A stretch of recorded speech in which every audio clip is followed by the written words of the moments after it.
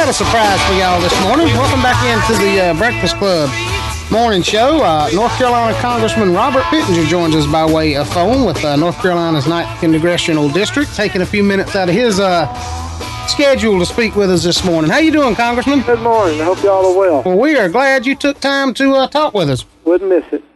So, um, Congressman, I wanted to ask you um, and get you to explain about this uh, Chongqing. I'm probably not saying it right, but this uh, this company, Chongqing Casin Enterprise Group, um, they want to take over the uh, Chicago Stock Exchange. I- explain this story uh, for our listeners, will you? Sure. Well, it's very concerning uh, to us. I uh, wrote a letter and had 45 of my uh, House colleagues co-sign the letter with me uh, to the Committee on Foreign Investments to look into this because as this company we don't know much about, uh, all the Chinese companies, uh, they do not come forward with uh, any information.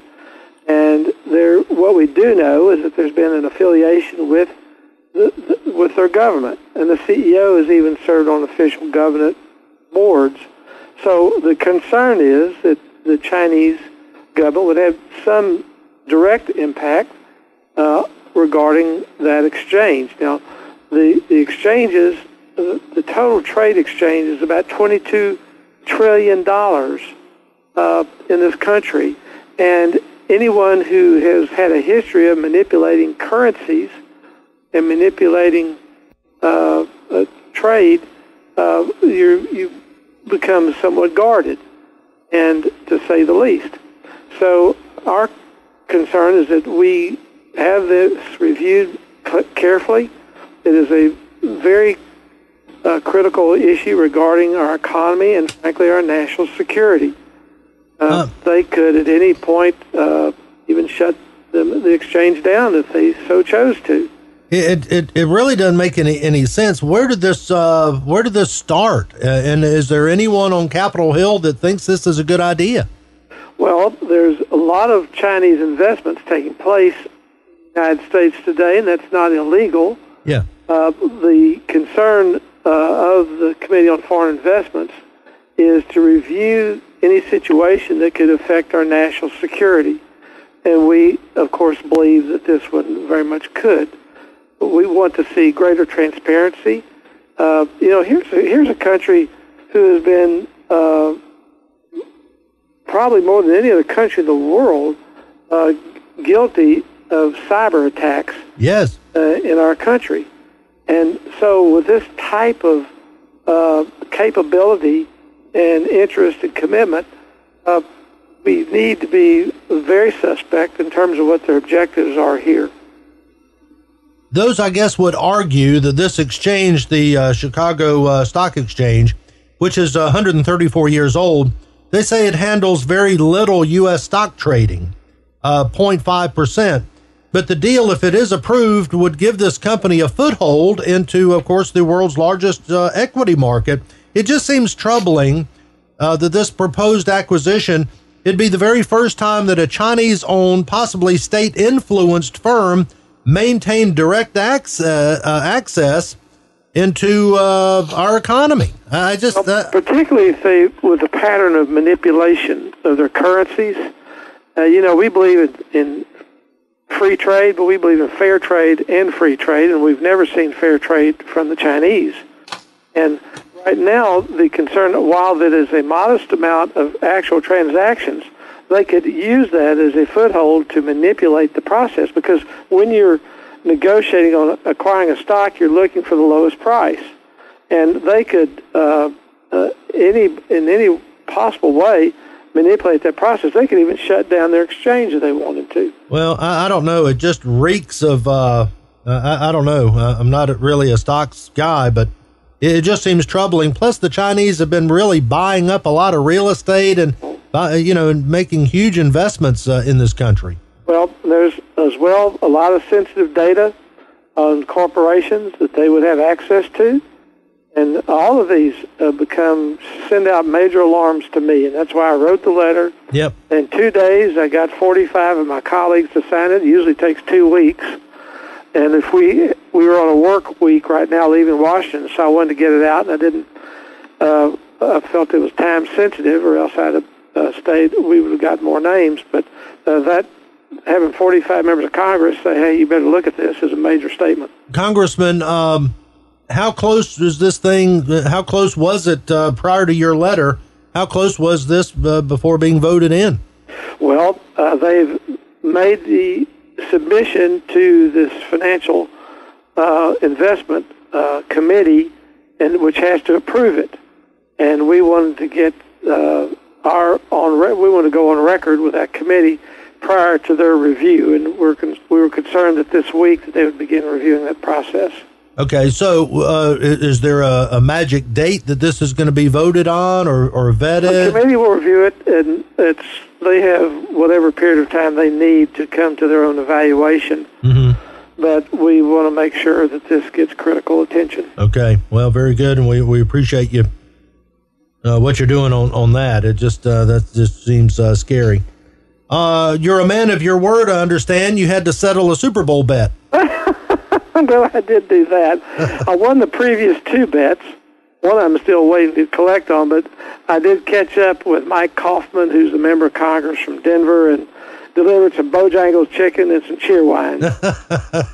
that that got the attention of the national media. They seem to like that. Well, hey, he, I brought him some liver mush too. I stopped there. he, uh, he might have got something. While we got you on the on the phone, well, while we got a moment, Congressman. Let's ask you your thoughts about this uh, redrawing of the congressional, uh, uh, redrawing of the district. It, it, seemed like when we first heard this that uh, it was going to be really hard to get this done in this election cycle because a lot of people have already cast votes, and this has just turned into a, it's just turned into a mess.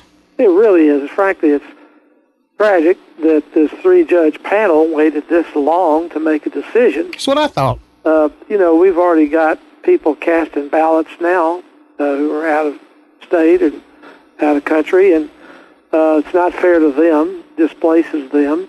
And so now we're going to have to start all over again. It's going to cost the state about nine or ten million dollars to run this campaign just exclusively uh, for the primary elections for the members of Congress. The, the other primaries, the presidential on down, they'll continue on March 15th, but they're going to have to delay ours. Yeah.